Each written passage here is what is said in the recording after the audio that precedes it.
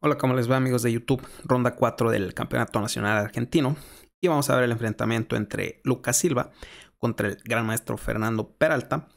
Luca de blancas, Peralta de negras. Y sin más, vamos a saltar directo a la acción. Abre con D4 aquí Lucas Silva.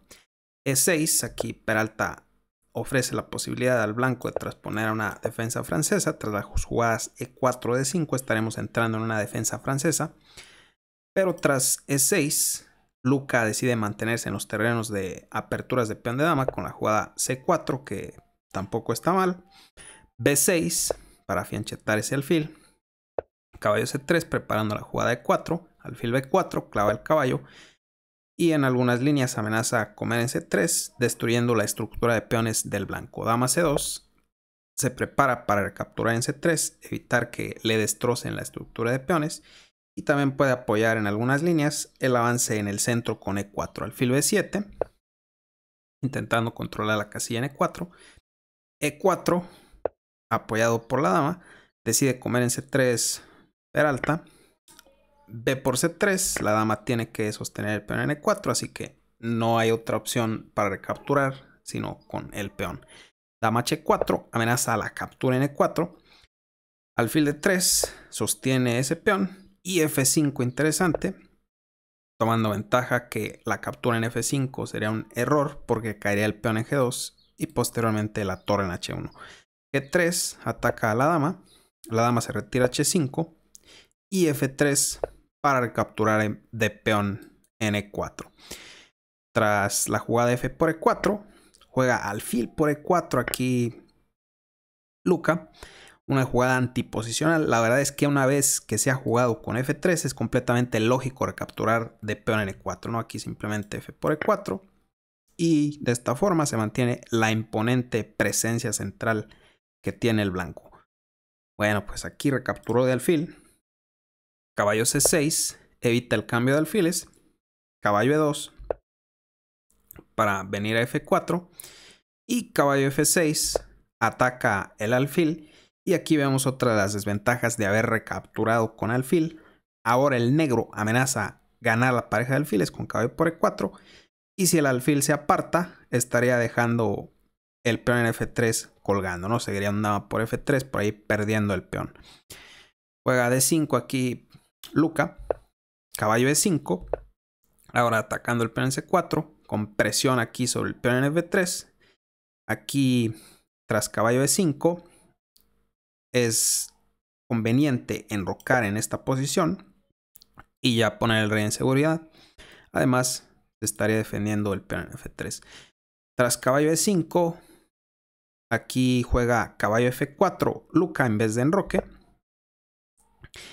Y la verdad que tiene la intención de provocar el error de Peralta. Está atacando la dama.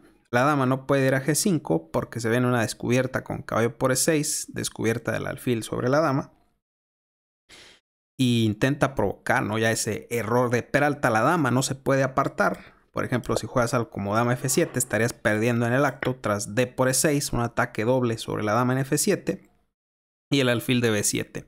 Con lo cual el blanco ganaría pieza. Además, la captura en E4, que parece que ataca a la dama, no es posible porque seguiría E por F7 jaque. Se captura la dama con jaque. Bueno, pues aquí tras caballo F4 Peralta calcula muy bien. Juega caballo por F3, jaque. Rey F2. Ahora la dama sigue colgando. El caballo en F3 también está colgando. Pero aquí, caballo por E4, otra intermedia, fuerte jugada. Jaque. Dama por E4. Ahora parece que todas las piezas negras están bajo ataque. El caballo está colgando, la dama está colgando. Pero aquí Peralta encuentra la jugada clave y es caballo G5. Un excelente cálculo. Si la dama blanca se aparta, también lo hará la dama negra. Así que Luca intenta esta intermedia con dama por E6 jaque, obteniendo un peón más. Al fin y al cabo va a terminar capturando en H5. D por E6 y caballo por H5. Ahora amenazando comer en G7. Aquí juega en Roque Peralta. Y ahora, como podemos ver, es igualdad de peones, ¿no? Cuenten los peones, son 6 por bando. Igualdad de material. Pero, ¿cuál es la diferencia? Que las piezas negras están muy activas. Vemos que el alfil todavía está durmiendo en C1. La torre no participa. Esta torre en F8 ya está activada. Y lo único que falta meter al juego es la torre de A8. ¿no? Aquí tras rey G2 juega caballo de 4. Ahora mete presión aquí sobre el peón en C3. Puede coordinar sobre F2 para meter un jaque. Torre 1.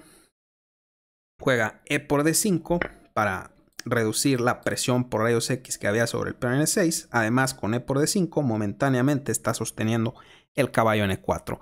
C por D5 y caballo por C3. Ahora se cae otro peón. El peón en D5 sigue colgando y termina desmantelando en su totalidad todos los peones centrales del blanco. Juega rey G1 aquí. Lucas se aparta de la gran diagonal. Caballo por D5 y caballo F4. Busca el cambio de caballos. Torre 8. Ahora sí activa la última. Torre 8 para activar la última pieza. Aquí tras la captura. Se va a activar la pieza de A8. Alfil de 2 para sostener esa torre N1. Caballo F6. Declina el cambio para evitar posiciones donde haya alfiles de diferente color, ¿no? Tras caballo por D5 existiría alfil por y de repente por ahí existen algunas posibilidades de escapar con las tablas debido a la presencia de alfiles de distinto color. Juega caballo E6 aquí Luca amenazando comer en C7, torre 7 evita que le coman en C7, caballo D4 ahora ofrece el cambio de torres, torre D7 ataca el caballo y por rayos X el alfil en D2 también está colgando. Alfil C3 sosteniendo el caballo.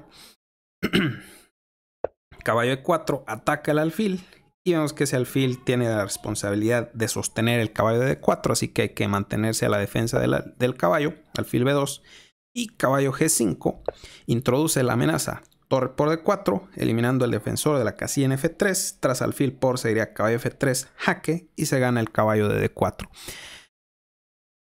Y fíjense que si el blanco se despista aquí y juega torre F1 para evitar el jaque en F3, pues tendríamos un patrón de mate muy bonito con caballo H3 jaque. Vemos que el alfil controla toda la diagonal.